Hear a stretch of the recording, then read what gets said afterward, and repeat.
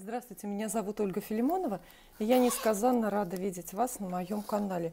У меня совсем небольшое гадание на картах Таро на предстоящие нам 7 дней. 7 дней такого долгожданного и такого короткого лета. Но есть и хорошие новости. Наконец-то состоялась новолуние, а это значит, что на следующей неделе, это будет неделя с 24 по 30 июля, можно смело браться за новые дела, покупки, новые проекты, подписание договоров. Все это должно пойти хорошо. Безупречный астрологический фон мы имеем на следующей неделе. В среду и четверг растущая луна в знаке Девы особенно хороша для денежных дел, потому что луна в Деве дает всем нам без исключения аналитические способности, не дает запутаться в эмоциях, в чувствах, поэтому с холодной головой можно что-то выгодно купить или продать. Ну а воскресенье, та же самая растущая луна, будет проходить созвездие Скорпиона, поэтому на воскресенье планируйте дела, связанные с реализацией эмоций. Ну, в первую очередь, это, конечно, романтические свидания. Помните только о том, что Луна в Скорпионе может провоцировать и негативное проявление чувств и эмоций. Поэтому будьте осторожнее со словами. Нежные, трогательные и все без исключения красивые раки. Мое следующее недельное гадание будет для вас. Первый вопрос про работу, которая есть работа или бизнес. Что происходит у вас здесь?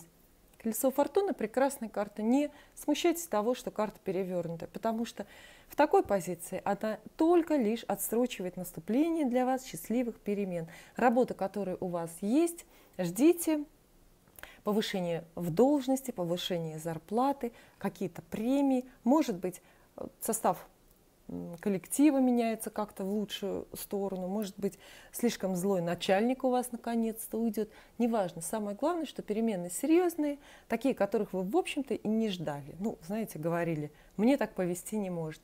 Нет, они не за горами, чуть-чуть, может быть, в отсроченном виде. То же самое касается э, вашего собственного собственного бизнеса крупный контракт на следующей неделе может быть пока еще и не подписан, и э, крупные прибыли, может быть, пока еще и не придут, но все идет к тому. Самое главное, что звезды вам в этом деле помогают в работе, в бизнесе. Звезды, космос сейчас все, безусловно, на вашей стороне. Интересно, что колесо судьбы, конечно же, карта с советом не вмешиваться в ход событий, потому что, знаете, вот эту тонкую настройку судьбы сбить-то очень легко своей какой-то э, инициативностью неуместной. Посмотрите так от, отстраненно, понаблюдайте, как будут развиваться события, и очень скоро вы убедитесь, что они развиваются только в лучшую сторону, для вас, по крайней мере для кого как, а для вас все будет хорошо. Если вы заняты сейчас поисками новой работы, то вот как раз здесь, пожалуй, для рака перспектив нет никаких, именно никаких. То есть вот карта звезда, пусть она позитивное значение имеет. Да, карта это очень хорошая, но она обещает успех только людям, которые непосредственно заняты с творчеством, с какими-то картинками, с визуализациями. Все-таки эта сфера достаточно узкая, а если ищете работу, ну, такую обычную, человеческую, практическую, то здесь есть опасность скорее замечтаться. И карта крупная, она вас призывает жить и планировать более по-земному, что ли, эту тему. Во-первых, не поддавайтесь на уговоры и, и не верьте обещаниям каких-то людей, людей, которые ну, эту работу вот в этот период вам предлагают. Ну, на практике как это может выглядеть? Например, вы пропускаете реальное предложение о работе, из-за того, что ждете место, которое вам пообещали, может быть, давно пообещали. И вот с этими надеждами, с этими мечтами прямо-таки вы действительно, получается, что теряете время. Ну, то есть смотрите под ноги, а не на небо в этот период, вот говорят вам карты. Негативного прогноза-то нет здесь никакого, однако будьте практичнее, как-то более утилитарно подходите к этой работе. В общем, не мечтайте сейчас на эту тему.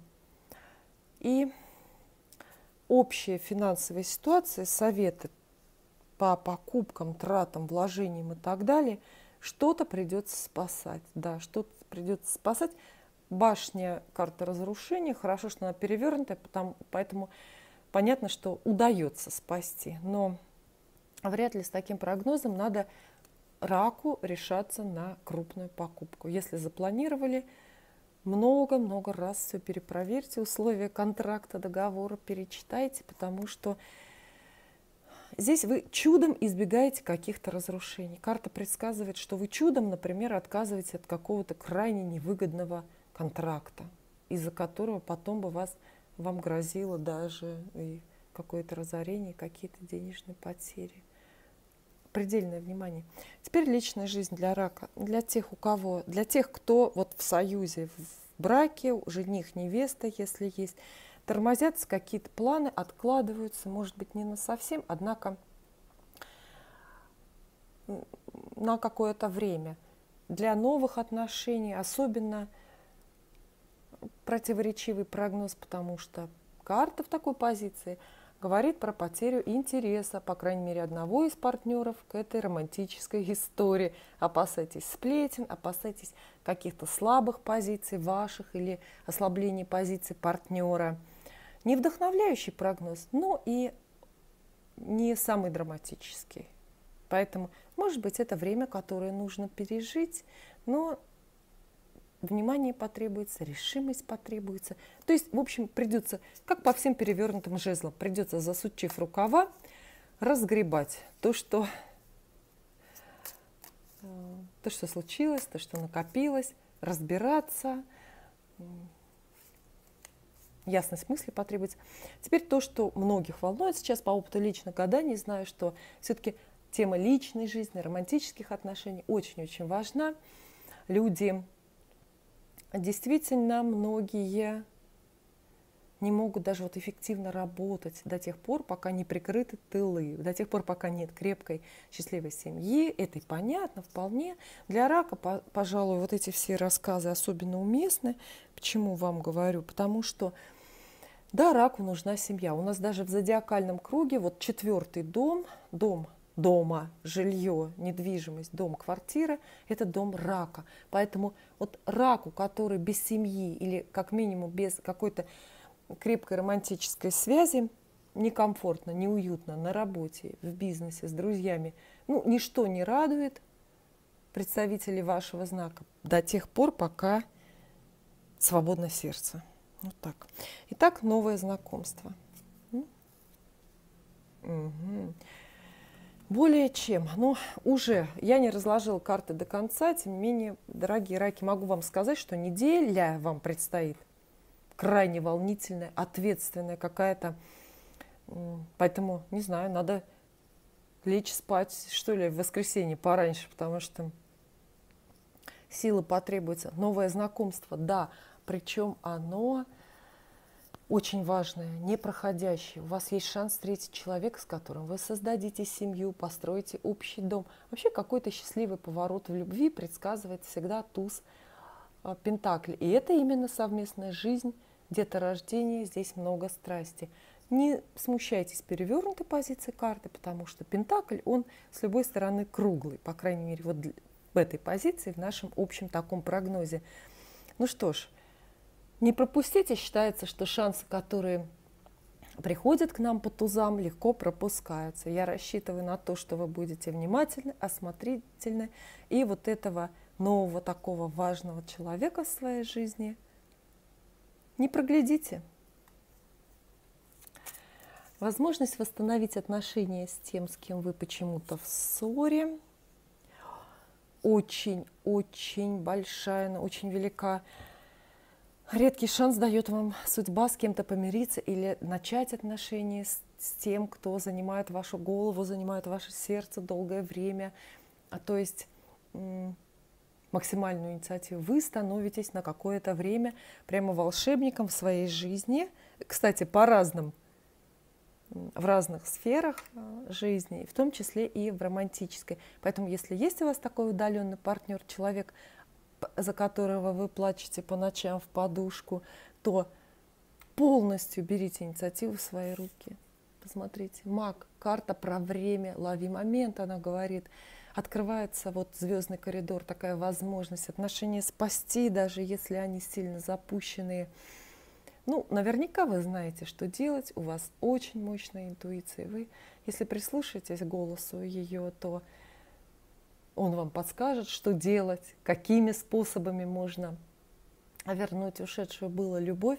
Я, карты, звезды, мы все вас торопим и желаем, конечно, на этом поприще удачи, но это карта быстрых, скорых совершений. И решимость нужна максимальная. То есть никаких просто сообщений «Привет, как дела?» здесь быть не должно. Здесь все и сразу. Не растекаться мыслью по древу. Жизнь в семье для рака.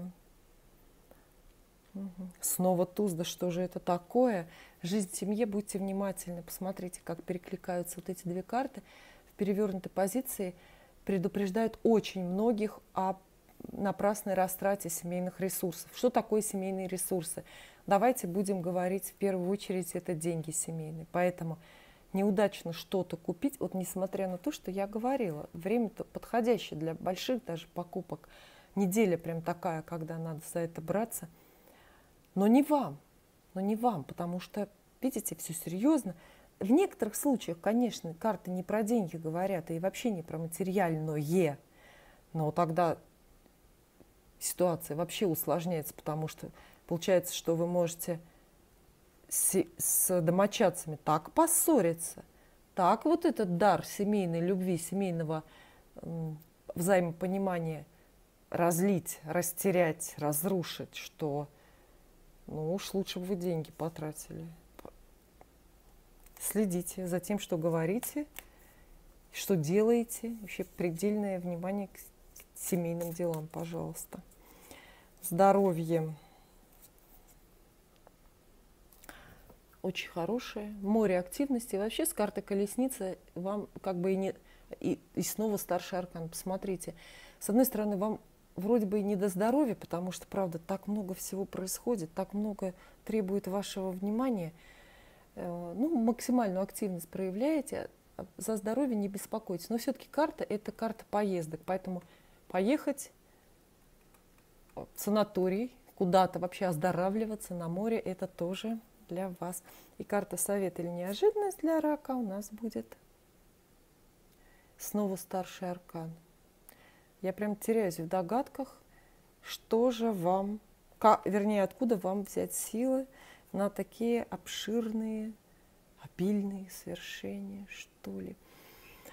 Карта мир, гармония, гармония в делах, гармония в чувствах. И это гармония, которую, надо, которая уже есть в вашей жизни, которую надо стремиться поддерживать, которую важно не пропустить, не упустить. Но карта мир – это еще и завершающий аркан в старших картах Таро, поэтому она про конец про окончание чего-то, какого-то важного этапа в жизни.